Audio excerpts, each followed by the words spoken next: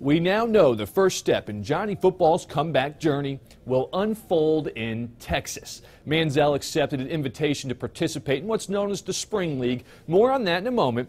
The Heisman Trophy winner tweeted this today. Back in Texas where it all started. I'll be joining the Spring League in Austin to get comeback season started. Can't wait to get back on the field and show NFL scouts what I can do. Can't wait for spring. He's looking forward to a lot there. The Spring League, which uh, is runs in Austin, gives players an opportunity to practice and play games in front of NFL scouts, GMs, and player personnel directors.